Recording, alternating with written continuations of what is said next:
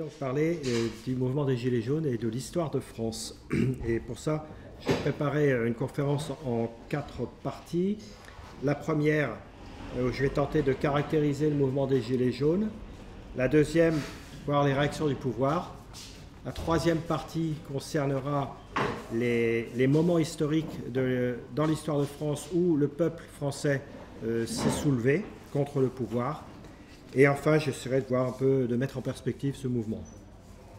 Donc les caractéristiques du mouvement des Gilets jaunes, je dirais que premièrement, c'est un mouvement dont la cause euh, fondamentale euh, est l'injustice sociale. Une injustice entre le peuple et les dirigeants, entre le peuple et l'oligarchie, une injustice qui est créée, euh, qui s'est installée depuis 1983 et la loi Rocard de séparation, de désindexation des salaires de l'inflation. À partir de cette loi, depuis cette loi, 200 milliards d'euros annuels sont passés de la poche des salariés à la poche des, possesseurs de capitaux. C'est une réaction à la guerre des classes menée par l'oligarchie. Euh, c'est Warren Buffett, un milliardaire américain, qui a dit en 2007-2008 Il existe bel et bien une guerre des classes, mais c'est ma classe, la classe des riches, qui fait la guerre et c'est nous qui gagnons. Et ce ne devrait pas être le cas, il a ajouté. Deuxièmement, c'est un mouvement spontané du peuple français. Ça, c'est très important parce qu'il y en a eu très très peu dans l'histoire de France, des mouvements spontanés du peuple. Et toutes les franges de la population sont réunies, au-delà de tous les partis politiques, euh, au-delà des, clivages. Et euh, ce mouvement est essentiellement un mouvement au départ provincial, rural et périurbain. Et il s'est déclenché à partir, il est parti à partir d'un déclencheur qui a été euh, une augmentation du prix de l'essence, mais en fait, peu importe le déclencheur, les conditions stoichiométriques étaient là, et quel que soit le déclencheur à ce moment-là, euh, ça part. Troisièmement, c'est un mouvement d'une très grande diversité sociale euh, de ses membres, et surtout c'est un mouvement qui refuse de se donner des chefs, donc tendance anarchiste. Et euh, il refuse d'être contrôlé par euh, tout type d'organisation, syndicalistes ou autres euh, sociotraîtres. C'est à partir de ce mouvement qui a pour origine une lutte des classes, une, un- une misère sociale, il y a une prise de conscience progressive qui s'est faite, qui émerge, qui émerge dans ce mouvement au fil des semaines. On, a vu émerger une prise de conscience et le mouvement dérive, enfin dérive, arrive plus exactement naturellement sur des questions politiques et des questions beaucoup plus fondamentales. Et en particulier sur la remise en cause de l'Union européenne et sur la question du référendum d'initiative citoyenne qui devient un peu centrale dans les, revendications des Gilets jaunes. En fait, c'est logiquement la question de la redistribution des richesses qui, est posée au fond et de qui détient le pouvoir. C'est un mouvement aussi patriotique. Euh, on le voit à travers la quantité de drapeaux tricolores qui émanent les, manifestations de Gilets jaunes. Et ça se comprend parce que, en fait, euh, quand on regarde l'histoire de France récente, on constate que la France est trahie depuis quelques décennies euh, par ses dirigeants, et par ses classes dirigeantes. Il y a une trahison des classes dirigeantes et donc le mouvement populaire, naturellement, veut revenir à la patrie, à la nation. C'est un mouvement pacifique au début, qui se radicalise, et c'est normal, compte tenu de- des réactions du pouvoir, et on le verra après, et qui attire la sympathie des Français, de la grande majorité des Français. C'est un mouvement qui s'étend à d'autres pays aussi. Actuellement, il y a plus d'une vingtaine de pays qui, euh, voient fleurir des mouvements de gilets jaunes, donc le symbole est là, euh, ce qui signifie que quand le peuple français se lève, ça fait tache d'huile et c'est un modèle. Et enfin, il y a- c'est un mouvement qui suscite la réaction hostile des bien-pensants. Ça aussi, c'est important parce qu'on verra que dans l'histoire de France, il y a eu des précédents. Hein, toutes les bonnes consciences humanitaristes qui sont prêtes à se lever pour les plus belles causes et se, et se donner comme ça un satisfecit d'honorabilité, euh, eh bien, euh, sont contre, contre les Gilets jaunes parce que le peuple, ça sent mauvais. C'est pas, euh, il vaut mieux euh, se battre pour des causes exogènes, euh, les Syriens, les boat people ou tout ce qu'on veut, mais le peuple français qui, qui se lève pour vivre dignement, ça, les, humanitaristes bien pensants, ça ne leur plaît pas beaucoup. Les réactions du pouvoir, ensuite, eh bien, elles se caractérisent par un, phénomène très, très marqué qui est un mépris de classe. Un mépris de classe, une arrogance du pouvoir et des classes dirigeantes à l'égard euh, de ce peuple qu'on veut maintenir en esclavage économique. Et ce mépris de classe se manifeste par une répression violente et de plus en plus violente. J'ai pris les données que j'ai trouvées sur Internet il y a deux jours. Aujourd'hui, on compte un mort, 22 personnes éborgnées, 5 mains arrachées, plus de 200 blessés graves, des milliers d'interpellations et de gardes à vue, avec des décisions de justice illégales, des juges qui maintiennent, qui prolongent des gardes à vue sans, aucune, euh, sans aucun prétexte, sans aucun motif, ce qui provoque l'ire des, avocats. Euh, on a donc là euh, le comportement typique d'un État policier où la justice est complice et aux ordres de cet État policier. Si Poutine avait fait le quart de ça, tous les médias bien pensants hurleraient au dictateur sanguinaire. Mais là, c'est Macron qui le fait et il ose dire euh, à l'ONU qui critique la France, mais nous sommes dans un État de droit. je dirais au président, enfin au président, à Macron, que l'état de droit, ça n'est pas un titre.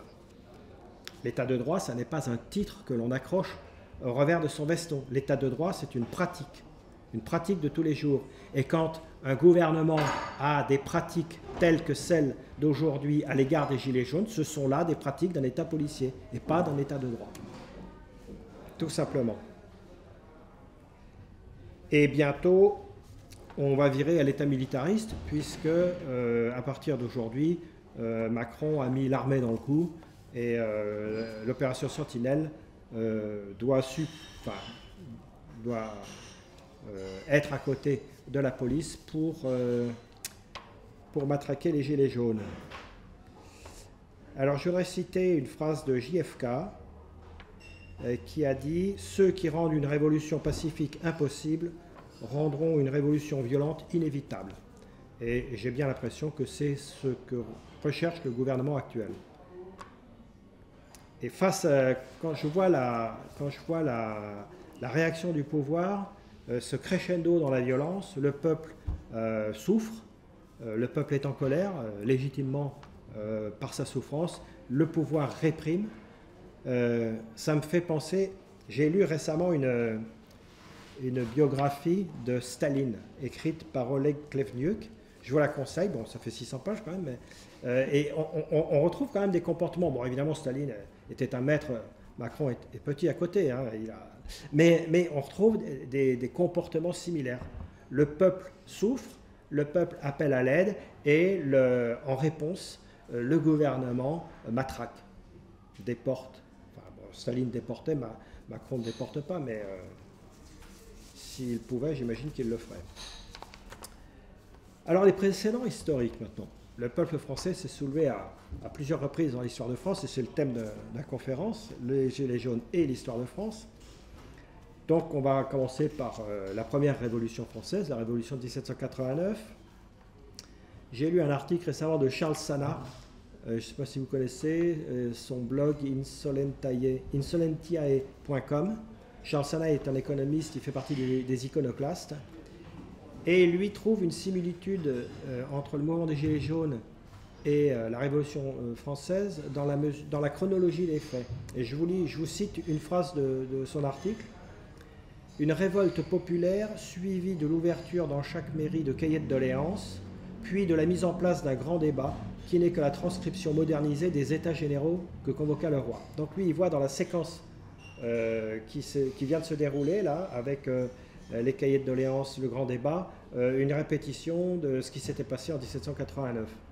Après les États généraux, bon, on sait comment ça, s'est poursuivi. Il y a eu la grande peur, il y a eu une phase de grande peur avec des de la paranoïa de part et d'autre, des fake news, et, et finalement ça s'est terminé par la nuit du 4 août et l'abolition des privilèges, cette phase de la grande peur. Donc pour lui, nous sommes en, pendant cette phase de la grande peur. Et donc, il ne conclut pas son article en, faisant des pronostics, mais il appelle le gouvernement à, la modération.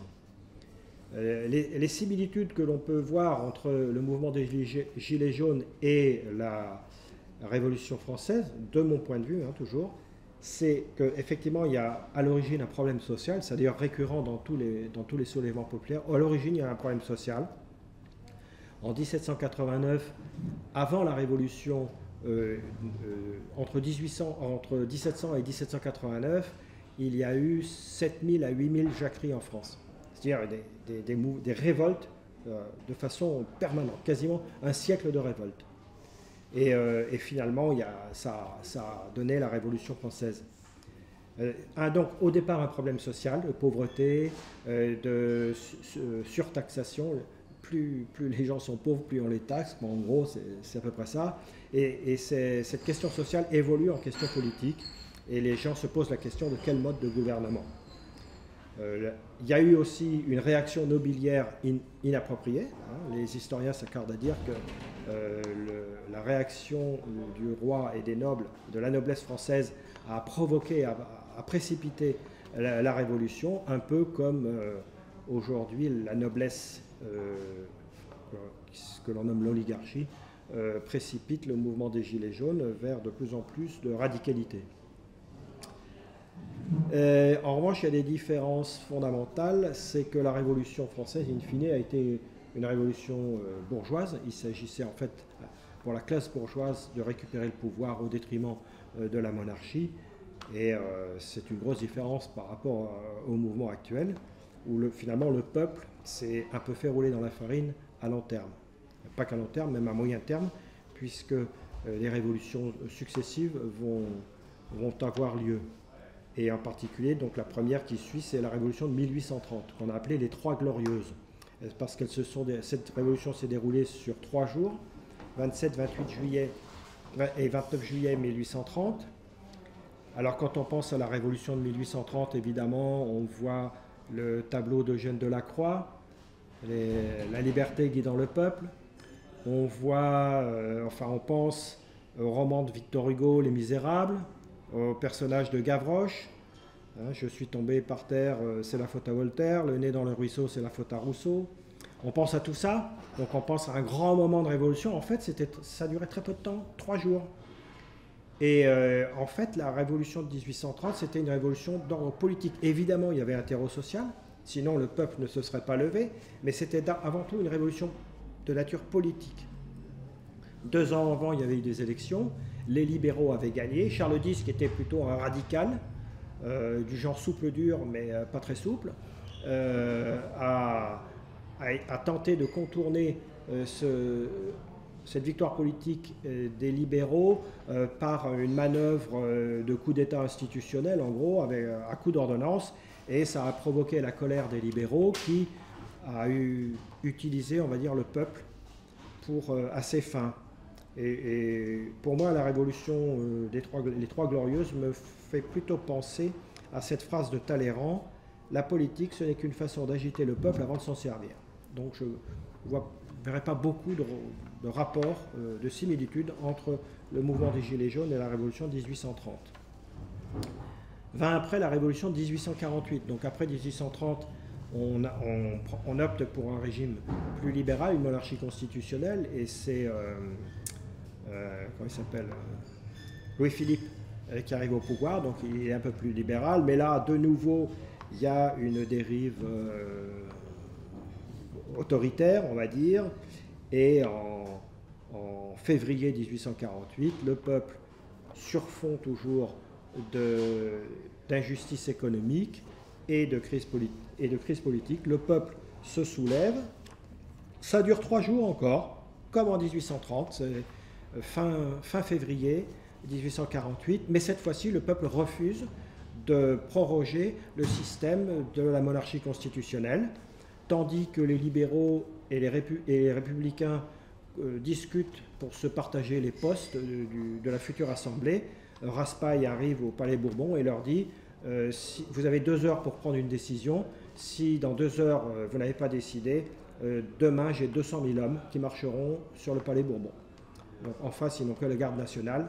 Et au bout de deux heures, ils, décident d'abolir la monarchie et de proclamer la République. C'est la Deuxième République.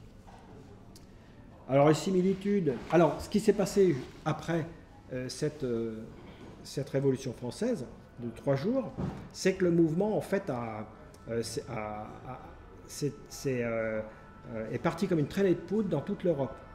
C'est ce qu'on appelait le printemps des peuples. Et toute l'Europe est partie en révolution. En fait, tous les peuples d'Europe se sont, ont suivi le peuple français. C'est 1848 c'est l'année de l'unité italienne, c'est l'année où Garibaldi a, bouté les Autrichiens hors d'Italie et a créé l'unité italienne. Et dans tous les pays d'Europe, il, y a eu, euh, il y eu des révolutions populaires. Et donc finalement, la, révolution de 1848, le printemps des peuples, c'est un moment où le peuple français a montré l'exemple aux autres peuples d'Europe.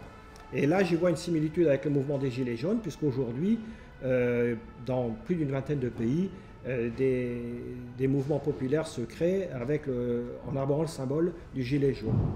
Donc quand le peuple français euh, se lève, eh ben, généralement ça fait tache d'huile.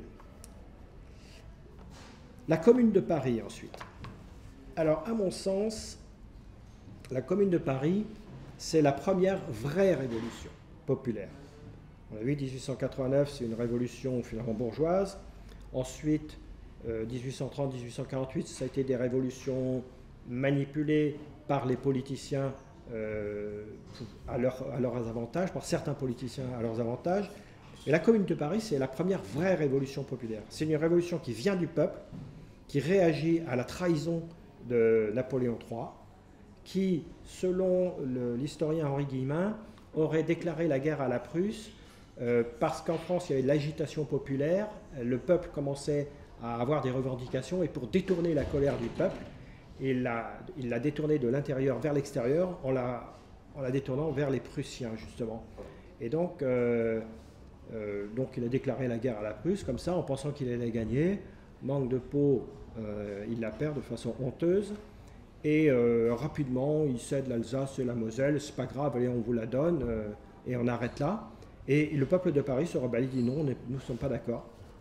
Nous avons tenu un état de siège pendant plusieurs mois et il est hors de question euh, que euh, nous soyons trahis à ce point. Et donc le peuple de Paris se soulève et il crée la commune. la commune, euh, c'est un... En fait, c'est le, premier moment dans l'histoire où le peuple dit nous prenons en main notre destin et nous n'avons pas besoin de la classe dirigeante.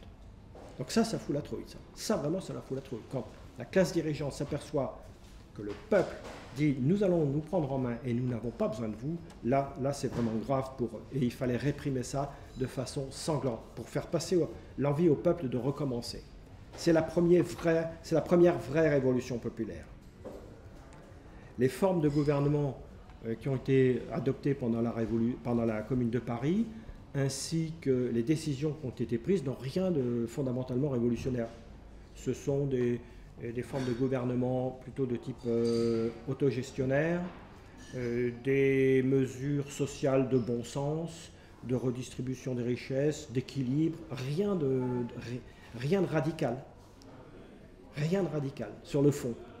Ce qui était radical, ce qui était révolutionnaire, c'est que le peuple dise on n'a plus besoin de vous. La classe dirigeante, on n'a plus besoin de vous. Ça, c'était révolutionnaire. Et il y a une chose qui s'est passée qui est intéressante. Donc après, on sait comment ça s'est terminé.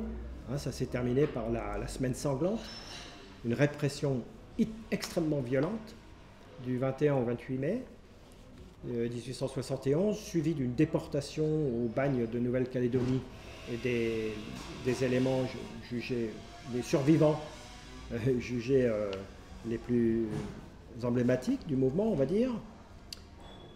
Et il y a une chose qui est intéressante, euh, c'est que c'est la réaction des gens, des, progressistes, des bien-pensants à l'époque. tous les progressistes, les, les gens du progrès, la bien-pensance de l'époque, les Georges Sand, Émile Zola, Ernest Renan, Gustave Flaubert, tous ces gens-là étaient contre la commune. Parce qu'ils craignaient pour leur, euh, euh, pour leur possession, pour leur argent. Il y a eu deux exceptions. Jules Vallès, qui lui était communard, et Victor Hugo, c'est tout. Donc les intellectuels euh, bien pensants, du côté de la bien-pensance, qui se sont mis du côté de la commune, bah, finalement, ils se comptent sur les doigts d'une main, sur le doigt de deux doigts. Jules Vallès et Victor Hugo, terminé.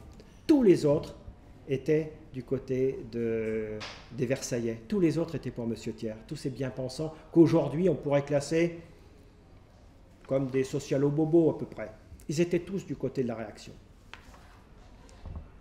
Et pour moi, euh, enfin de mon point de vue, euh, le mouvement des Gilets jaunes, il, s'apparente à la Commune de Paris, d'un point de vue anthropologique, euh, d'un point de vue sociologique, parce que c'est un mouvement qui émane du peuple, qui est patriotique, qui est autogestionnaire, qui est solidaire. Autogestionnaire, les, Gilets jaunes refusent d'avoir des chefs, comme Paris, la Commune de Paris, qui est démocratique. Aujourd'hui, les Gilets jaunes demandent le référendum d'initiative citoyenne qui, euh, bah, regroupe tous les gens du peuple, c'est-à-dire très diversifié euh, d'un point de vue sociologique, euh, mais en même temps très unis, et qui est ressenti par le pouvoir comme terriblement menaçant.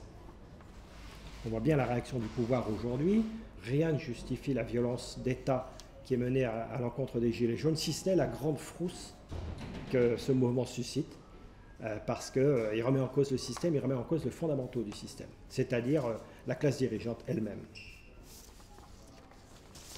On passe ensuite à 1936. 1936, c'est l'année des congés payés, de la semaine de 40 heures. Alors on dit c'est le Front populaire.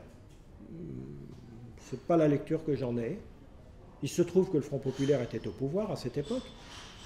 Mais bon, euh, avant d'arriver à Matignon, euh, Léon Blum était quand même, avec rendu visite au président du comité des forges, au président de la Banque de France.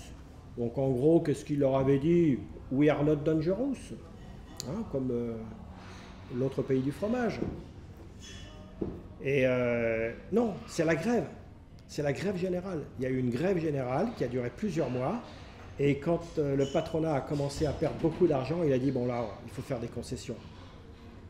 Et du reste, la même chose s'est produite quelques décennies plus tard avec un gouvernement de droite et ça s'est passé de la même façon avec les accords de Grenelle. Donc ce n'est pas le fait que le Front populaire ait été au pouvoir euh, qui a fait qu'il y a eu euh, ces, avancées sociales. C'est la grève générale, c'est la solidarité du, euh, monde ouvrier. Donc peu de similitudes avec le mouvement des Gilets jaunes, si ce n'est la solidarité du peuple qui fait bouger les dirigeants. Mais à l'époque, il est vrai que la classe ouvrière était une classe unie, c'était une, véritable classe sociale, alors qu'aujourd'hui, avec les, après 30 euh, années de délocalisation et de destruction de notre outil industriel, finalement, euh, il n'y a plus tant d'unité que ça. Ensuite, on vient à la résistance. Bon, moi, je ne vais pas raconter l'histoire de la guerre de 40 et de la résistance, tout le monde la connaît. Euh, je, vais, directement similitudes et aux différences que je vois entre cette période et la période et le mouvement des Gilets jaunes. Sur le, terrain des similitudes, euh, je dirais qu'il y a une chose euh, qui les rapproche, c'est la trahison des élites politiques et économiques. En 1940, bien avant 1940, euh, depuis le début des années 30, la, la, classe politique française et la classe économique, les, les classes dirigeantes ont trahi le peuple. Le choix de la défaite. Hein, c'est le titre d'un livre d'Annie Lacroix qui explique ça très bien avec euh, une multitude de preuves à l'appui. Et c'est le cas aujourd'hui aussi, hein, puisque Macron, c'est le. Bon, je ne rappelle pas l'affaire Alstom et autres, bon, c'est, euh, ils vendent tout, euh, la France est vendue. quand je dis la France est vendue, ça veut dire que c'est le patrimoine qui appartient au peuple français qui est vendu à des sociétés privées pour euh, euh, rien du tout. Et ensuite, ces sociétés privées taxent, lèvent l'impôt sur le peuple français euh, après ses ventes. Hein? Les autoroutes, les autoroutes ont été financées par un emprunt d'État. quand avant on payait 10 francs une course d'autoroute, il y avait 7 francs qui servaient à rembourser l'emprunt et 3 francs qui servaient à entretenir l'autoroute une fois que l'emprunt a été remboursé, normalement, le prix du, péage aurait dû passer de 10 à 3 francs, ou alors ces 3 francs auraient pu être payés par l'impôt sur le revenu de tout le monde. Non, c'est à ce moment-là qu'on a privatisé. Pour une bouchée de pain, à des sociétés privées qui ont fait passer le péage de 10 à 11, puis à 12, puis à 13 francs. Donc c'est une opération mafieuse. On a, on a volé le capital, le patrimoine du peuple français pour le donner à des sociétés privées. Et c'est ce que fait Macron, c'est ce qu'a fait avant lui euh, Hollande, Sarkozy euh, et tous les gouvernements depuis à peu près bah, depuis 1983, on va dire. Donc, similitude avec la résistance dans les causes, enfin dans, l'état de fait.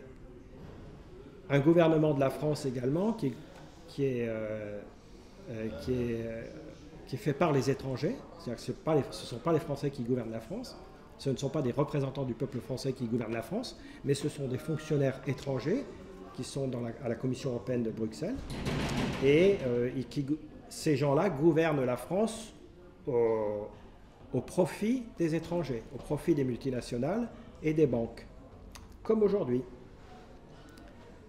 Donc euh, aujourd'hui c'est comme ça, et en 1940 c'était comme ça. La France était gouvernée par les Allemands au profit de l'Allemagne.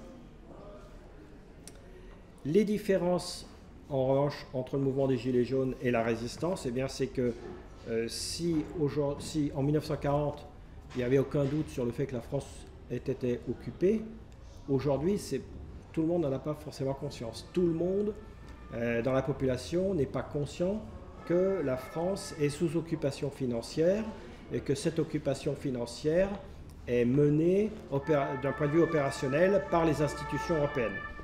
Alors qu'en 1940, au moins, on le voyait, les Allemands défilaient dans les rues de nos villes et de nos villages, donc il n'y avait aucune ambiguïté là-dessus. La grande différence, la deuxième grande différence, c'est évidemment le fait qu'il n'y a pas de figure emblématique de la résistance, puisque précisément le mouvement des Gilets jaunes est un mouvement de type anarchiste, où on refuse d'avoir des chefs, donc de type autogestionnaire. Euh, ils refusent les chefs, ils refusent euh, que leur mouvement soit récupéré, alors qu'en 1940, il y avait une figure emblématique de la résistance, c'était le général de Gaulle. Enfin, le dernier, soulèvement euh, du peuple français a eu lieu en 1968. Alors en 1968, c'était euh, au départ une, un soulèvement des étudiants pour des causes sociétales. Ça n'avait rien à voir avec des causes économiques. Euh, c'était une question de liberté sexuelle, de liberté de vie, enfin c'est des, des, questions sociétales.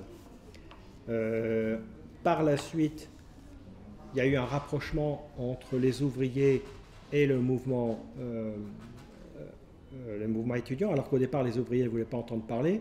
Et, ce rapprochement a été fait par l'intermédiaire d'intellectuels euh, qui se sont engagés, comme Jean-Paul Sartre et autres, donc des, intellectuels vraiment qui défendaient la cause prolétarienne, si bien que ça a mené à, une grève générale de, la classe ouvrière et qui a eu les mêmes effets que la grève générale de 1936 les accords de Grenelle euh, conclus ont, vu une augmentation du SMIC euh, très substantielle et, des avantages sociaux. Donc euh, il y a peu, peu de, finalement, peu de rapprochement à faire avec le mouvement des Gilets jaunes actuels. Alors maintenant les perspectives. Les perspectives comme perspective, d'abord, il faut voir les invariants. Dans, tous ces mouvements de soulèvement du peuple, il y a un certain nombre de, faits qui reviennent euh, régulièrement, des invariants. Euh, le premier invariant je vois, c'est l'injustice sociale comme cause fondamentale et une étincelle qui déclenche le processus. On, ne, on, ne, fera jamais se lever un peuple euh, sur des questions philosophiques on ne convaincra jamais les gens que nous sommes en dictature. On peut, on peut faire tous les discours qu'on veut, développer tous les discours, faire des conférences, apporter des preuves, écrire des livres euh, sur le fait que l'Union européenne c'est le quatrième Reich, sur les origines de l'Union européenne, sur le vol des banques, sur la création monétaire. Euh, on, on, pourra faire tous les discours qu'on veut, ça marchera jamais. Le seul truc qui fait qu'un peuple se lève, c'est quand il a faim, quand il n'a plus rien à bouffer et qu'il voit qu'il a de plus en plus de taxes et que de l'autre côté, les gens sont une minorité qui est de plus en plus riche. Au bout d'un moment, ça l'énerve et il se lève. Et c'est ça qui se passe aujourd'hui. Donc, c'est là qu'on se dit quand même que ceux qui ont le pouvoir manquent légèrement d'intelligence. Parce qu'ils pourraient, avec quelques toutes petites concessions, ils pourraient maintenir le peuple docilement là où il est. Mais non, je ne sais pas pourquoi, ils, utilisent la répression, euh, ce qui est complètement idiot. C'est l'arrogance, c'est l'ubris, hein, qui, nuit profondément à leur intelligence. Euh, le deuxième invariant que je vois, c'est qu'à partir de ce problème économique, il y a une réflexion politique qui s'engage et l'émergence d'un processus politique. C'est-à-dire qu'une fois que les gens se sont soulevés, que leur situation est tellement intolérable euh, qu'ils se soulèvent, là ils, se posent, ils discutent entre eux, ils se réunissent, ils discutent entre eux, et là ils se posent des questions. Et oui, mais d'où ça vient? Pourquoi? Pourquoi est-ce qu'on est aussi pauvre? Pourquoi est-ce qu'en 1945, quand la France était exsangue on a, su créer national, le programme du Conseil national de la résistance, les retraites par répartition, la sécurité sociale? Pourquoi on a su le faire à cette époque-là, alors que la France était exsangue Et pourquoi aujourd'hui, on n'est pas capable de le faire, alors que le PIB de la France double tous les 15 ans? C'est des questions simples, que les gens finissent par se poser. Et donc, forcément, quand on se pose des questions, ben, on arrive aux réponses. Ah ouais, ah ouais, en 2017, 82% de la richesse produite en France est tombée dans l'escarcelle des 1% les plus riches. 82% de la richesse. Et c'est un journal de droite, un journal économiste de droite qui le dit. Euh, la Tribune. C'est le journal La Tribune qui, dit, qui donne ce chiffre. Donc, il y a bien un problème, quoi. Donc, un, problème économique qui débouche sur un questionnement politique. Euh, troisième invariant que je vois, c'est l'intelligence collective du peuple français contre l'arrogance et la bêtise des, classes dirigeantes françaises. Euh, je ne sais plus si c'est Napoléon qui disait ça ou si c'est De Gaulle, je ne sais plus. Je n'ai pas retrouvé le... Euh, il y en a un des deux qui disait en Angleterre, le peuple n'est pas très fut-fut, mais euh, l'élite anglaise est très intelligente. Alors qu'en France, le peuple français est intelligent, mais l'élite française, pas très fut-fut. Et ça se vérifie, hein. ça s'est vu en... Et, et, à la trahison en plus. Donc ça, ça, s'est vérifié, après la chute de Napoléon en 1815, ça s'est vérifié en 1870, ça s'est vérifié en, 19, en 1940. Bon, et euh, c'est pour ça que le combat, le combat des Gilets jaunes aujourd'hui, c'est le combat de l'intelligence contre la bêtise. C'est le combat de l'élégance contre euh, la médiocrité. Troisième, quatrième invariant, la bien-pensance. La bien-pensance, soi-disant humanitariste aujourd'hui, est toujours contre le peuple. Tous les bien-pensants qui sont prêts à faire des, des, des balles de charité ou des manifestations euh, pour telle ou telle cause humanitaire, euh, histoire, de, histoire de, rehausser leur bonne conscience, eh bien, dès qu'il s'agit du peuple français, la misère du peuple français, ils sont contre. Ils ont probablement peur qu'on leur brûle leur Porsche ou leur Mercedes, je ne sais pas. Et enfin, euh, dernière invariance, c'est le pouvoir qui répond à la misère et à la colère légitime du peuple qui en découle par la violence, la répression sanglante. Donc ça part d'une violence sociale, ça envers le peuple, ça génère une réaction du peuple et en réaction à cette réaction, une violence physique contre le peuple. Donc ça c'est un processus qui se répète. Et pas qu'en France d'ailleurs, dans tous les c'est un marqueur d'état totalitaire en fait. Ça s'est provoqué, ça s'est passé euh, comme ça sous Staline, euh, ça se passe comme ça en France aujourd'hui. Euh, bon, je ne veux pas citer tous les exemples, mais bon, c'est un processus général qui, est un marqueur d'un État totalitaire. Donc aujourd'hui, la France n'est pas un État de droit, c'est un État policier.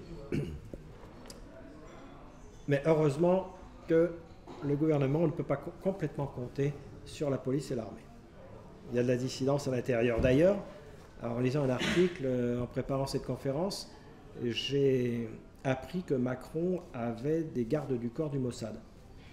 Donc il doit se méfier peut-être un peu aussi des Français, je ne sais pas. Alors les développements, bah, les développements, moi j'en vois qu'un. C'est une montée aux extrêmes de la violence. Enfin, il y en a peut-être. Ou alors peut-être peut-être un, essoufflement euh, du pouvoir euh, face à euh, une montée de la critique internationale, face à, la montée de l'humour. Au bout d'un moment, ils sont déjà tellement ridicules que s'ils si, prenaient conscience de, leur ridicule, peut-être que ça les inciterait à, revenir un peu en arrière. Mais de toute façon, comme ce ne sont, pas, ce sont pas eux qui décident, hein, ce sont les banquiers qui décident et les firmes. Euh, Macron n'est là que pour appliquer. Hein, c'est un majordome, il applique ce qu'on lui dit. Donc euh, tant que les banques diront non, non, on ne veut rien lâcher, ne lâchez rien, il est hors de question qu'on donne euh, un millième de notre argent pour que le peuple français vive correctement. Parce que ce n'est pas notre projet. Le projet des banques, c'est la mondialisation, c'est la destruction des peuples, c'est la destruction des solidarités pour pouvoir mieux manipuler les peuples et les ramener en esclavage. Donc ça, c'est le projet. Un développement possible aussi, de la part du peuple, c'est le pas de côté. Euh, j'en avais parlé lors de la précédente conférence à propos de la monnaie libre, la June. Euh, j'avais commencé, euh, au début de ma conférence, j'avais évoqué une, phrase de Mayer Amschel Rothschild, 1744-1812, qui est le fondateur de la dynastie des Rothschild et qui, selon le magazine Forbes, est le père de la finance internationale. Et cet homme, qui était allemand, hein, euh, il, avait, il avait déclaré Donnez-moi le pouvoir de créer et de contrôler la monnaie d'un pays et peu m'importe qui fera les lois. Et donc, si. Donc, effectivement, ce sont les banques. Les maîtres du monde sont les banquiers, les possesseurs des banques. Euh, parce que quand on possède l'argent, quand on possède la, faculté de créer et de contrôler la monnaie, et on peut distribuer la monnaie où on veut, on peut prêter l'argent à qui on veut. On peut s'acheter les médias, on peut, et c'est ce qui se passe du reste, on s'achète la classe politique et on place les hommes politiques, les personnalités politiques euh, que l'on veut, que l'on a choisi, au poste euh, de contrôle du peuple. Si le peuple crée sa propre monnaie sans passer par les banques, au lieu que la création monétaire soit le résultat de la dette, hein, soit, créée, au lieu que la création monétaire soit un processus qui émane de la, création de la dette, euh, si au lieu de ça, la création monétaire était euh, un processus naturel lié à chaque individu, que chaque individu crée une quantité de monnaie chaque jour, qui alimente son compte en banque. De toute façon, il y a toujours de la monnaie créée, donc ça, ne changerait rien ou pas grand-chose sur la masse monétaire relativement au nombre d'individus, sauf qu'il n'y aurait plus de banques. Aujourd'hui, la masse monétaire créée va directement dans le coffre des banques et les individus ont de moins en moins d'argent. Si on crée nous-mêmes notre monnaie, on n'a plus besoin des banques et là, c'est la vraie révolution. C'est ça la vraie révolution. On n'a plus besoin d'eux. Alors cette monnaie existe, euh, depuis deux ans. Elle s'appelle la June. Euh, là, j'ai regardé tout à l'heure, nous sommes 1750, euh, 1760 membres de la toile de confiance. Et le jour où nous, atteindrons un million, je pense qu'ils commenceront à avoir peur. C'est une monnaie dématérialisée. On paye avec son téléphone portable ou avec son ordinateur. Et voilà. Donc intéressez-vous à la June, à la monnaie libre. À Montpellier, il y a une bonne communauté. Euh, il y a des apéros monnaie libre. Allez sur le site Monnaie Libre Occitanie. il y a des apéros monnaie libre au cours desquels on vous explique ce que c'est que cette monnaie, comment elle fonctionne. On vous aide à ouvrir des comptes. Faites-le et plus nous serons nombreux, plus nous pourrons échanger dans cette monnaie, plus nous serons libres euh, si déjà on arrivait à se nourrir dans cette monnaie, ce serait un grand pas de faire en avant. Alors évidemment, il ne peut pas y avoir de, grève générale comme il y en a eu à d'autres époques, pour la raison simple que euh, l'outil industriel de la France a presque disparu. Après 30 ans de, plus de 30 ans de délocalisation, il n'y a plus de classe ouvrière en France et il n'y a plus moyen par la grève générale de peser sur le pouvoir. Et s'il y avait une grève générale aujourd'hui, ça nuirait aux petits commerçants et aux, petits artisans. Et donc, ce n'est pas le but, puisque ce sont précisément les gens qu'il faut sauver. Alors, sur quel levier pouvons-nous agir? Eh bien, sur le levier de la consommation, encore une fois. donc, la création monétaire, je dis, la consommation. On peut boycotter les enseignes. Boycottons les enseignes et allons euh, nous nourrir plutôt euh, chez euh, l'épicier du coin plutôt que chez dans les grandes surfaces. Ce genre de choses. Ce genre de comportement peut, euh, peut avoir de, l'impact. Et de toute façon, il faut taper au portefeuille. Il hein. les taper au portefeuille. Voilà. Donc, j'ai presque fini mon exposé. Je voulais juste faire une, une extrapolation avec la situation mondiale. Ce comportement du pouvoir qui consiste à réagir à une colère populaire par la répression et par la violence, on le retrouve à l'échelle mondiale, avec le pays dominant, euh, enfin qui se croit encore dominant mais qui ne l'est plus, les États-Unis, qui réagit aux tentatives d'émancipation des pays qu'il avait sous sa coupe par la violence. Et cette violence, c'est euh, les sanctions économiques, euh, les menaces, etc. Sauf que ça ne marche plus.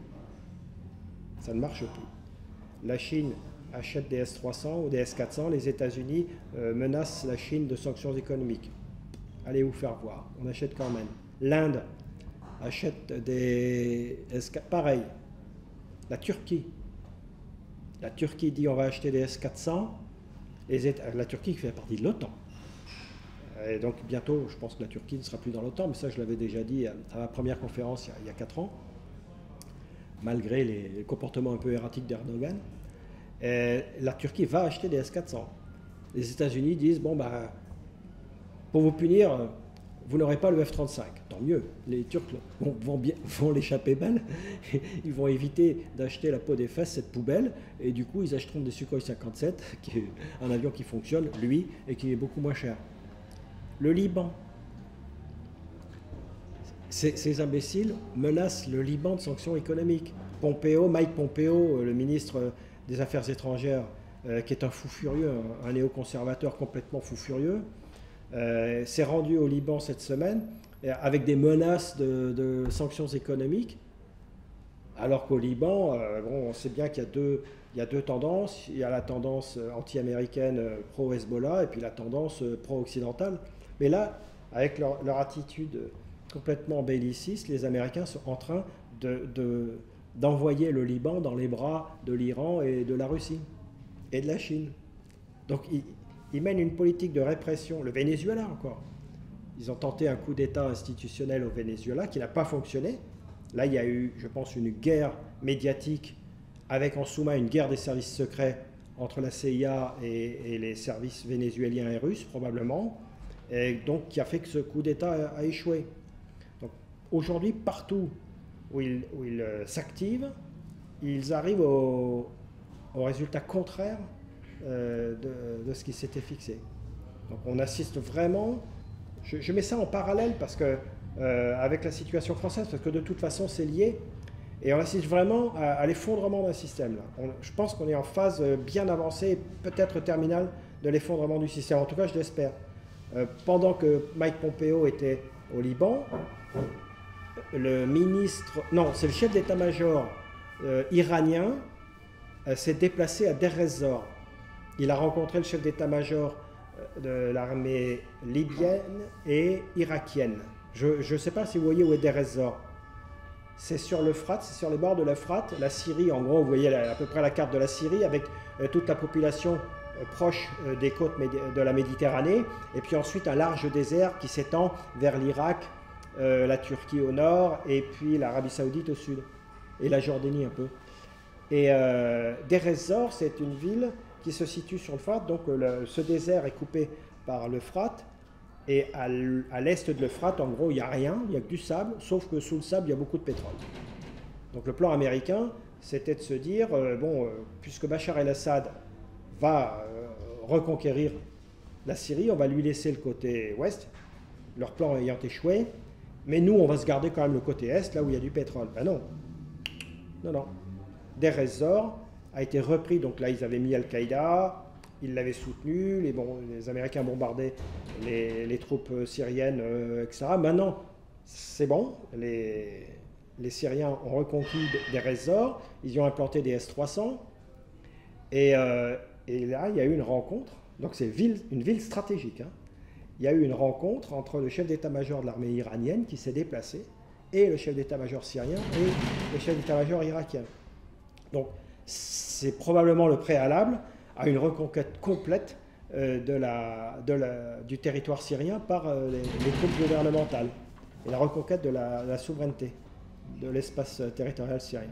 Donc c'est considérable. Au même moment où Pompeo euh, va faire l'imbécile au Liban avec ses menaces.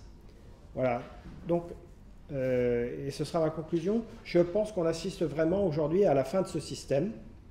J'espère que le plus tôt sera le mieux, que ça ne va pas trop tarder, que ça ne va pas trop s'éterniser, euh, parce qu'on voit que partout en parallèle, les, choses se passent de façon assez similaire. Aujourd'hui, les, ruptures technologiques nous viennent de Russie et de Chine. C'est terminé. L'Occident a perdu sa suprématie technologique. Euh, Poutine, le 1er mars euh, de l'an dernier, a, énoncé, a évoqué euh, tous les nouveaux systèmes d'armes que la Russie avait développés et qui sont opérationnels, en particulier des missiles qui vont à 27 fois la vitesse du son. Ça veut dire que c'est une, rupture technologique. Hein.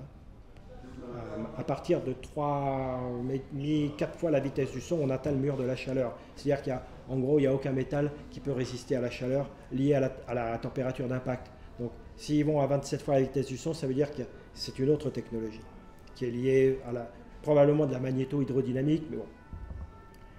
Ils ont développé, les Russes et les Chinois, un radar quantique. Ça aussi, on en parle peu, les médias n'en parlent pas le radar quantique. Il y, a, deux ans et demi, les Chinois ont lancé un satellite expérimental de, de, communication quantique. Sont les premiers à l'avoir fait. C'est révolutionnaire, ça. C'est vraiment une technologie révolutionnaire. C'est une rupture technologique. Et ça vient de Chine et de Russie.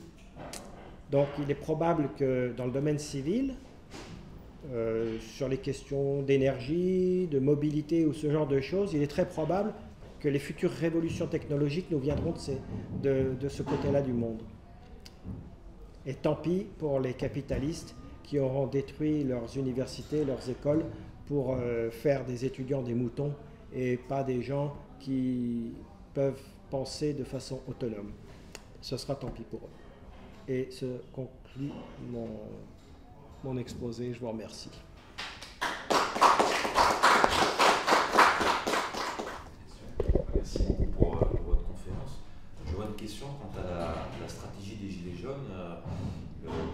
qu'est-ce qui, qu'est-ce qui vous semble plus pertinent plutôt de, poursuivre les manifestations à Paris, dans les grandes villes de province, ou de revenir peut-être sur des actions de blocage ou d'occupation de ronds-points, euh, euh, blocage des centrales d'achat, des raffineries de pétrole, euh, des péages autoroutiers, etc. Qu'est-ce que, vous pensez de ces questions de stratégie? Moi, je pense que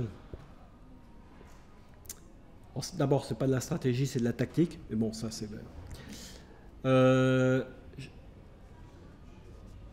moi, je, pense qu'il faut qu'il faut qu'il soit imprédictif. Qu'il soit là où on ne les attend pas. Par exemple, annoncer une grande manifestation à Paris et dans toutes les grandes villes, faire semblant d'y aller au dernier moment, on n'y va pas, on se retrouve ailleurs. Et là, mobiliser les forces de l'ordre pour rien, donc les forces de l'ordre se retrouveront en face des black blocs et des, et des. Il n'y aura pas de gilets jaunes. Je, pense plutôt à ce genre de truc. Maintenant, sur les blocages, c'est très, très. Euh, c'est. Autant il y, a, il y, a, 30 ans, j'aurais dit bloquer les raffineries, euh, oui. Aujourd'hui, si on bloque les raffineries, c'est le peuple qu'on pénalise. C'est justement puisque le pays est complètement désindustrialisé, euh, c'est les petits artisans, c'est les petits commerçants qu'on pénalise. Donc euh, donc c'est délicat de faire ça. Je verrais plutôt des actions ciblées euh, contre des grandes enseignes. Genre, on, on occupe le parking d'un supermarché. C'est facile, hein, on se donne rendez-vous, on se donne le mot. Euh, le parking fait 200, 200 places, et ben on arrive à 200 voitures, on garde nos 200 voitures sur le parking, le matin, on rentre chez nous et on les laisse toute la journée. C'est des trucs simples. je verrais plutôt ce genre de truc, ce genre d'action drôle. Parce que euh, je pense qu'il faut, il faut mettre les rieurs de notre côté. cette révolution doit être drôle, je pense. Pour l'instant, le gouvernement essaye de, la, euh, de faire monter la violence aux extrêmes il a une, politique répressive et violente. je pense que la, réaction, elle doit être drôle, par l'humour, par l'humour et la joie. Les, mettre euh, le nez dans, leur caca, quoi. Je ferais plutôt ça. Mais, mais encore une fois, ça ne relève pas d'une pensée stratégique. La, la vraie action stratégique, à mon avis, c'est la monnaie libre. Ça, pour moi, c'est la vraie, vraie action stratégique. Parce que la monnaie, c'est l'outil de la démocratie et, ou du pouvoir. Ça, c'est l'outil du pouvoir, en fait. Donc, si on a notre monnaie libre, qu'on le crée nous-mêmes, chacun à égalité, c'est nous sommes en démocratie. Tant que la monnaie est créée par des banques privées, nous sommes sous le contrôle de, de ces gens-là. Alors, quand la monnaie a été créée euh, par la Banque nationale, bon, ça allait encore parce qu'on était sous le contrôle de l'État. Donc ça, c'est acceptable d'être sous le contrôle de l'État. Mais être sous le contrôle des banques privées, c'est pas acceptable. À propos de la monnaie libre, euh, apparemment, pour l'instant, c'est qu'auprès de, euh, de paysans qu'on peut vraiment s'en servir. Y a pas, on ne peut pas s'en servir pour acheter un vélo, des chaussures, euh, son assurance, payer son loyer c'est un peu euh, limité? Alors la monnaie libre permet d'échanger entre les gens qui, euh, qui sont dans le, dans le, réseau de la monnaie libre. Alors pour l'instant, euh, bah, il y a des gens y a des gens qui vendent leurs produits en monnaie libre. Vous pouvez échanger des produits et des services, des massages ayurvédiques. Je connais une personne qui fait des massages ayurvédiques qui se fait payer moitié en euros, moitié en monnaie libre.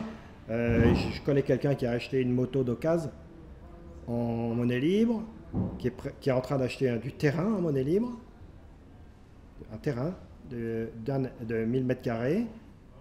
Euh, comment ça se fait alors, alors, par rapport aux autorités, son terrain, comment il va l'acheter? Ben, En fait, il va, on va lui donner, officiellement, ce sera un don. Il paiera les, il paiera les frais de notaire pour ce don. Et en fait, euh, il payera derrière en monnaie libre. Et ça, ce sera euh, transparent pour les autorités. Pour, le moment, comme nous sommes peu nombreux, euh, la question ne se pose pas trop du des impôts, des taxes et tout ça. Si nous sommes très très nombreux, bon, il faudra, il y a plein de questions qui, se poseront, en particulier comment on, construit des projets collectifs. Pour l'instant, alors il existe des projets collectifs dans la monnaie libre. Les gens cotisent sur certains projets. Euh, il y a un site J'échange, qui est une espèce de, c'est un peu le bon coin de la monnaie libre. On peut faire du covoiturage, on peut faire du, il y a du Airbnb en monnaie libre. Euh, on peut proposer des services, des cours de ceci, de cela. Et puis on peut vendre. Il y a des artisans qui, euh, une femme du côté d'Avignon qui fait des, bijoux qu'elle vend en monnaie libre. il y a pas mal de choses qui s'échangent déjà. C'est encore euh, c'est embryonnaire, hein. mais plus. Euh, alors, s'agissant ensuite des, produits neufs, c'est plus délicat. Euh, parce que pour l'instant, de toute façon, les, matières premières sont vendues en, en, euros. Donc on pourrait imaginer que des gens qui fabriquent des produits neufs vendent leurs produits pour partie en euros pour compenser l'achat de la matière première en euros et pour partie en monnaie libre, ça concernerait leur, travail, leur temps de travail. on, peut, on peut imaginer des choses comme ça. Et d'ailleurs, ça commence à se faire. Mais pour l'instant, je vous dis, nous sommes un peu plus de 1750.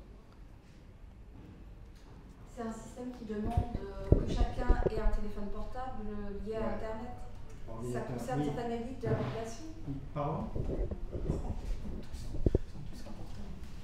avec Internet dessus. Il faut avoir, euh, il faut avoir un ordinateur ou un téléphone portable. Par contre, vous, c'est pas une monnaie métallique. Il n'y a, pas de- il n'y a pas de fiduciaire. Alors on est en train, parce que c'est un, tout ça c'est développé par des mathématiciens, des informaticiens, sur la base de logiciels libres également. Euh, si vous voulez connaître la théorie de la monnaie, de la monnaie libre, qui a été écrite par Stéphane Laborde, qui est un mathématicien logicien, il a écrit la théorie relative de la monnaie. Vous pouvez télécharger son livre gratuitement sur le site Théorie relative de la monnaie. Et, euh, et donc, euh, la question initiale, c'était le... Oui, oui. Alors, justement, oui, donc les gens, euh, les gens, les mathématiciens, tout ça, les- réfléchissent à l'émission de billets qu'on imprimerait chez soi. Parce que, euh, en fait, ce qui se passe, c'est quand on achète un truc en monnaie libre, euh, on, donc on, prend son ordinateur, on est, sur son compte, et puis là, on, va dire, je fais un don, enfin, je fais un virement, et puis euh, soit, on appelle le, nom de la personne à qui on va faire le virement, soit il a- elle a son code barre, on photographie le code barre et poc, c'est viré directement chez elle. Et par le biais des, billets, on pourrait imprimer chez soi avec son code barre. euh, Enfin bon, et, après, ça se ferait euh, une fois qu'on rentrerait chez soi, on régulariserait sur son ordinateur. Mais euh, donc il y a des gens qui réfléchissent à ça, à l'émission de billets papier qu'on imprimerait ch- chez soi. Ce serait un peu comme des reconnaissances de dette en fait. Hmm. Il m'arrive de suivre les manifestations, de filmer, de rencontrer les gens, de les écouter pour voir. J'ai j'ai pu constater qu'on y voit rarement euh, le monde venant des cités et des banlieues. Euh, là, on en parle rarement. Et moi, je me demande d'ailleurs euh, comment se fait-il que les responsables des Gilets jaunes euh, ne font pas des, rassemblements euh, sur place, par exemple à la paillade, petit bar. euh, parce que là, il y a une, quelque chose qui me, moi, qui me déplaît, euh, ces, ces structures entre les Gilets jaunes, je dirais FF, française souche pratiquement, et ceux qui sont d'origine extérieure de la communauté européenne, on voit qu'il y a une fracture là. Et j'ai peur qu'à la longue, certains puissent s'en servir pour, euh, pour ciser la population. Euh, j'ai su il y a trois semaines, il y a devait y avoir, une, conférence à la Payade, au marché de la Payade. Là, Euh, et puis euh, la police sera intervenue rapidement, ça n'a pas été médiatisé d'ailleurs. Ils étaient très peu nombreux. Ensuite, est-ce qu'il y a une surveillance là-dessus? Est-ce que le pouvoir apporte que toutes les cités se révoltent? Parce que eux, s'ils se mettent à bouger, je, me semble que ça ferait plus, plus de bruit. Alors qu'est-ce qui s'est passé à la paillade J'ai pas bien. Ouais, il y en a qui devaient faire un colloque, un- une conférence. Sur quoi Bah, Pour que les, les gens de les cités puissent venir. Gilets jaunes. Aux Gilets jaunes, hein, ouais, des Gilets jaunes qui devaient y aller. Ah oui, d'accord, ok. Moi personnellement, je suis allé une fois à l'arène euh, voir les Gilets jaunes, on a un peu parlé et je leur dis mais pourquoi euh, vous restez là sur le rond-point, c'est bien, ok, mais pourquoi vous ne vous déplacez pas, vous allez pas sur la Payade, parce que là il y a une Hmm. population très atteinte socialement parlant, hein, financièrement, et puis de l'hiver, moi j'y ai habité, hein. donc euh, très hésitant, hein, très hésitant. Et puis aussi, il y a eu, euh, j'ai vu un article où certains, certaines personnes de la paillade, de, de Plan Cabane, etc., qui, eux, au contraire, disaient, disons, se plaignaient en disant, mais nous, quand nous étions, euh, quand, nous, avions des soucis, à la fois financiers, sociaux, etc., où vous étiez, vous, les gilets jaunes? Et c'est vrai qu'ils n'ont pas tort. Euh, je pense que c'est très, euh, comment on appelle ça? C'est assez ethnique, hein, les gilets jaunes. Il y a quelque chose qui, moi, qui me déplaît là-dessus. Je suis gilet jaune euh, philosophiquement parlant, hein, vu l'histoire, etc. Voilà, c'est ce que vous en pensez. Oui. Alors, j'ai pas vraiment de réponse à cette question. Si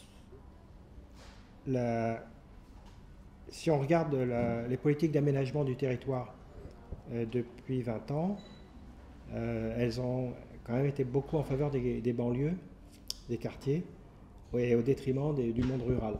On a appauvri le monde rural, finalement, euh, les, politiques se sont beaucoup plus concentrées sur les quartiers parce que justement c'est là qu'il y avait le feu, dans les années 90-2000. Ensuite, le Parti socialiste, sous, Sarkozy, le Parti socialiste avait fait une étude, enfin c'est euh, plutôt le think tank euh, euh, Terra Nova avait fait une étude et il avait dit notre électorat il est là-bas, il est dans, les banlieues, donc ils avaient fait un gros, travail de lobbying, d'influence à l'égard des banlieues, et si bien que j'ai l'impression que oui, en fait les, les gilets jaunes c'est la première fois depuis très longtemps que bah, les Français dont on parle jamais se lèvent, parce que ce sont ça effectivement euh, comme vous dites, sont les Français de souche, entre guillemets, sachant qu'on a vu quand même des femmes voilées tout à l'heure dans le cortège. Hein. Ouais. elles ne sont pas nombreuses. Mais euh, effectivement, ce sont des gens dont on ne parle jamais, dont on ne parlait plus depuis 30, plus, plus de 30 ans. Les banlieues, on en parle. C'est vrai qu'il y a aussi beaucoup de misère dans les banlieues. Je pense peut-être moins que... Je ne sais pas là, il faudrait vraiment des, des, études sociologiques poussées. Je n'ai pas, les, pas les données. Effectivement, s'il y avait un rassemblement des banlieues et des gilets jaunes, enfin, je veux dire, si les banlieues, euh, les quartiers euh, s'arrimaient au mouvement des gilets jaunes, le pouvoir aurait de quoi s'inquiéter. C'est intéressant ce que vous dites sur le fait que les policiers aient interdit cette conférence, soient intervenus. Donc ça veut dire qu'ils ont vraiment la trouille. Ils ont la trouille d'un gros rassemblement. Quoi. On peut constater que parenthèse, le système, euh, ce que j'appelle la paix sociale, euh, vous savez, le, commerce, euh, drogue et autres, ça marche très très fort en ce moment. Beaucoup plus. J'achète mes produits à la paillade parce que c'est un peu moins cher. on, voit, on voit que ça dit très très bien. Ça marche très bien. Si on enlevait cette économie-là, demain il y a une révolte. Il y a une révolte entre les nourricières, les pères, tout ça. Il y a tout un système économique, ce qui fait, je pense, qui joue là-dessus. Euh, et il serait très intéressant que certains gilets jaunes qui sont médiatiquement connus, on voit de temps en temps sur BMF, LCI, etc., euh, puissent euh, au moins organiser une conférence dans une grande cité, mais quelque chose qui soit beaucoup plus philosophique, beaucoup plus beaucoup de peuple. Parce que le peuple, c'est de tout. Quoi le paysan, l'agriculteur, tout le monde est. Moi, j'aime pas trop le terme citoyen. Hein. Il y a des clivages citoyenneté. Hein. Euh, les grands patrons sont des citoyens. Mais bon, le peuple, c'est mieux quand même. C'est un terme qui est quand même plus, euh, proche. Euh, et puis, je, crois que là, ça stagne. Tant qu'il n'y aura pas de, de rassemblement à la fois de toute la diversité, euh, je parle aussi bien euh, comment, euh, religieuse, c'est mm. très important, parce qu'en ce moment on fait des amalgames. On, voit qu'en ce moment les médias ont attaqué les gilets sur l'antisémitisme, l'homophobie, le racisme. Encore une fois, c'est une forme de propagande très amenée. Et justement, il faudrait que certaines personnalités, à la fois de spiritualité différente, puissent aussi intervenir parce que c'est une forme d'universalisme. La France est connue pour ça, par ses révolutions, de son histoire. Et puis, euh, pour l'année de la Croix-Rise, très bon bouquin. Pas facile à lire, mais très bon bouquin. si j'avais une question, je te demanderais pourquoi en France il y a autant de révolutions Qu'est-ce qui fait que culturellement, les Gilets jaunes sont possibles en France et pas forcément dans d'autres pays Je pense que c'est la grande diversité anthropologique du peuple français, c'est euh, l'enracinement dans, un territoire où il fait bon vivre, dans un pays où il fait bon vivre, et où on n'a pas l'intention de, mal vivre. Je pense qu'il y, a ça, hein, la géographie française, euh, la diversité anthropologique, euh, la diversité géographique, et puis fondamentalement la, famille nucléaire du grand bassin parisien élargi, qui, est quand même très dominante en France, qui porte les valeurs de, liberté et d'égalité. Et donc, euh, La, France est un pays égalitaire, fondamentalement égalitaire, et, quand les, inégalités euh, progressent au-delà d'un certain seuil, ça devient insupportable pour le peuple français. 82% de la richesse détenue, enfin, captée par 1% en une année, il ne faut pas exagérer quoi. Là, il y a de quoi sortir son fusil. Heureusement, le peuple français n'est pas armé. non, mais c'est vrai. Il y, a, très très peu d'armes. Il y a les chasseurs, ils représentent peu de monde, comparé aux Américains qui ils ont tous au moins une ou deux armes. Donc, euh, il n'y aura, pas, de révolution en France, de révolution armée. Aux États-Unis, il pourrait y en avoir. En revanche, en France, il pourrait y avoir un coup d'État, pas aux États-Unis. Pas la même configuration.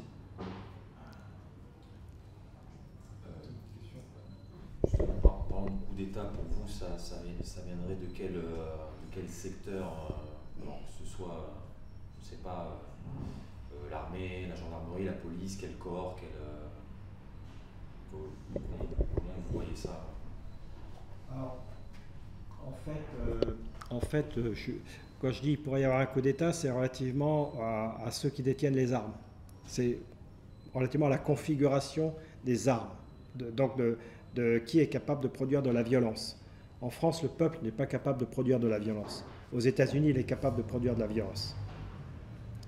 Euh, c'est tout. C'est relativement à ça que je ne euh, pense pas qu'il y ait aujourd'hui, euh, je vois mal la police, la gendarmerie ou l'armée faire un coup d'État.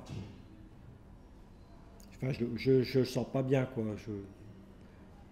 Quand je vois les chefs militaires, la police, ils sont plutôt aux ordres. Hein. Ils se font humilier, mais ils sont aux ordres quand même. Macron décide d'engager l'armée, il, ne prévient même pas le chef d'état-major des armées. le mec, il l'apprend par la presse. Il est humilié. C'est une humiliation. En gros, ça veut dire, mon général, euh, pour moi, vous n'êtes rien. Et l'autre, il se laisse faire. Bon. Non, je vois pas bien l'armée euh, tenter un coup d'État. les derniers qui, l'ont tenté, c'était en Algérie. Bon, c'est on peut dire qu'ils en avaient, quoi. Actuellement, c'est marrant parce que, à propos de la question du coup d'État, on me pose souvent la question en, tant qu'ancien militaire. Et euh, il y a beaucoup de, gens, de, des civils, du peuple, qui me disent Mais pourquoi les militaires n'ont pas de coup d'État? C'est assez drôle d'entendre ça, euh, mais euh, je ne vois pas l'institution faire un coup d'État. Je verrais plutôt les gens leur, avec leurs pieds. Les, militaires, les gendarmes, les policiers, je les verrais plutôt. Plus, ce serait plus dans le style des institutions euh, militaires et, policières actuelles que de voter par, par ses pieds. C'est-à-dire qu'une grosse manifestation est prévue, une mobilisation policière et militaire est, est planifié, et puis au dernier moment, les gens disent se mettent en, arrêt maladie. Je verrais plus ce genre d'action de la part de l'armée ou de la police. Euh, votez pas avec ses pieds.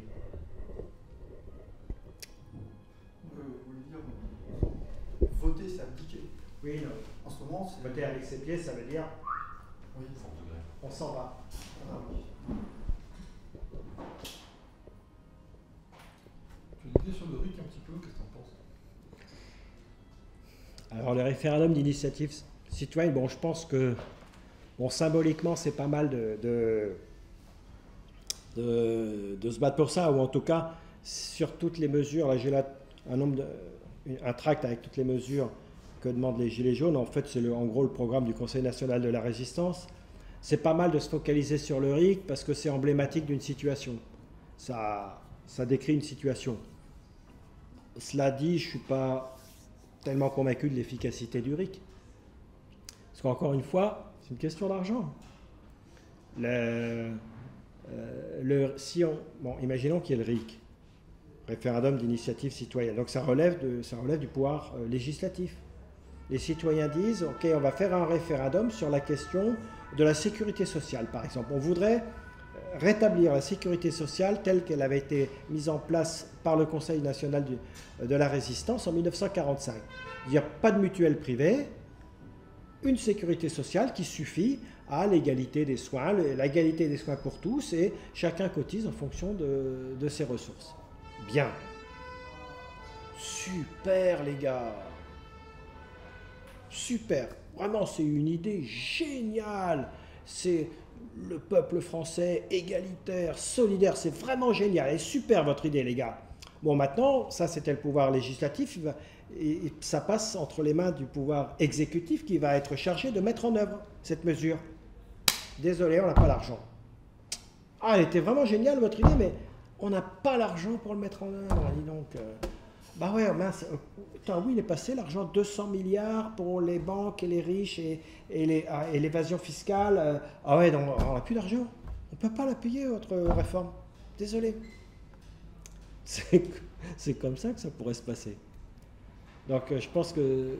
Bon, le RIC, c'est bien. Symboliquement, c'est bien. Pour moi, c'est bien de se focaliser là-dessus. Mais je ne suis pas certain que ce soit efficace si on ne change pas profondément les institutions. Et pour changer profondément les institutions, il faut commencer par changer la, création, la façon de créer la monnaie. C'est-à-dire déjà éliminer les banques privées dans un premier temps. Il n'y a qu'une seule banque en France qui peut produire et créer de la monnaie, c'est la Banque de France. Et après développer la monnaie, la libre. Alors, ce sujet de la Banque de France, euh, euh par internationalement, on parlait au niveau de l'international avec l'Iran, la Turquie, tout ça, on a pu constater que ces dernières années, il y a des plans qui sont survenus par des financiers iraniens, turcs, etc. Les, ministres des Finances ont proposé des, échanges de leur monnaie euh, locale. Et ça se fait. Les Chinois ne sont pas contre, les Russes ne sont pas contre, au contraire. Euh, est-ce que, disons, ce qui, ce qui, est important, on dit que souvent c'est l'argent, c'est le pouvoir. Et donc, euh, est-ce qu'une banque revenue, disons, n'a pratiquement jamais été euh, nationalisé, sauf Hugo, je crois qu'il a spécialisé pendant 2-3 ans, et encore c'est pas sûr. Mais euh, si la Banque de France était nationalisée par une, assemblée euh, totalement neutre des systèmes bancaires internationaux, est-ce qu'il y aurait quand même une forme d'indépendance et c'est ce qui ira du mieux Et pour ça, il faudrait aussi partir forcément de la BCE, de la Banque centrale européenne. Donc c'est très du, travail il y a plusieurs euh, questions dans, votre remarque. Hein. Euh, l'échange des, euh, pays comme l'Iran, l'Inde, la Russie, la Chine, le Venezuela dans leur monnaie, c'est une manœuvre de dédollarisation de l'économie mondiale. Hein. Aujourd'hui, le dollar est encore officiellement la monnaie d'échange internationale et ça, ça il n'y en a plus pour longtemps. Euh, maintenant, pour la Banque de France, oui, de toute façon, il faut sortir de l'euro. Hein. Ça, c'est clair. Hein. C'est la première chose. Revenir à une monnaie, à, une monnaie nationale, le franc, mais surtout nationaliser les banques. Parce que pour l'instant, ce sont les banques privées qui créent la monnaie par le mécanisme de la dette. Donc il faut nationaliser les banques. Il ne doit pas y avoir de banques privées. La création monétaire doit être une fonction régalienne. Possible dans le cadre de l'Union européenne euh Non. Impossible. Il faudrait sortir de l'Union européenne? Ah, Complètement. Dans l'Union européenne, c'est le quatrième Reich, soyons clairs. Donc il faut, sortir de, il faut sortir de cette prison et de cette dictature.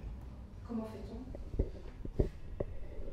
Alors, on dit, soit il y a un gouvernement qui arrive euh, à, qui gagne des élections et qui, disent, et qui dit on va, on va sortir de l'Union européenne, à mon avis, le mieux, c'est de le faire tout de suite. On négocie rien, on en sort. On, politique du fait accompli. Il n'y a même pas besoin d'invoquer l'article 50 du traité de l'Union européenne. On en sort, on dit allez, au revoir messieurs, dans une semaine on n'est plus chez vous, ou dans un mois, on leur donne un mois. Et on les met devant le fait accompli, ça c'est la première chose. C'est la première formule à mon avis.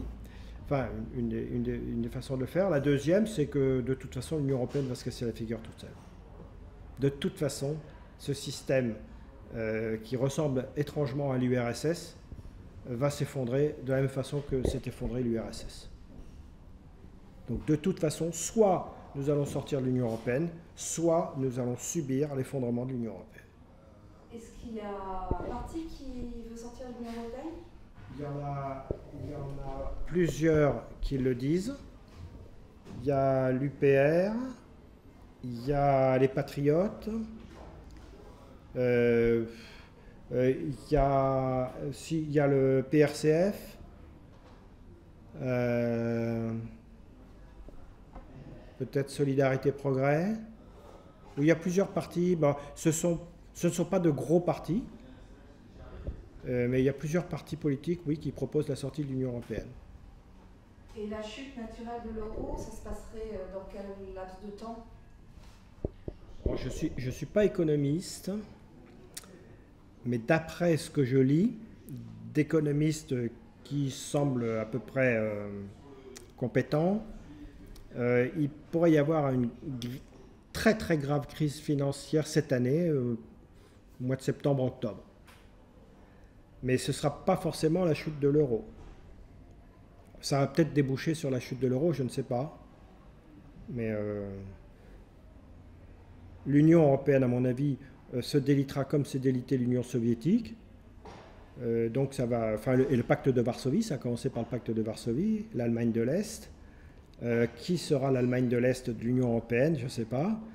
Ça pourrait être l'Italie, ça pourrait être la Hongrie, ça pourrait être, je ne sais pas. Ça pourrait être la France.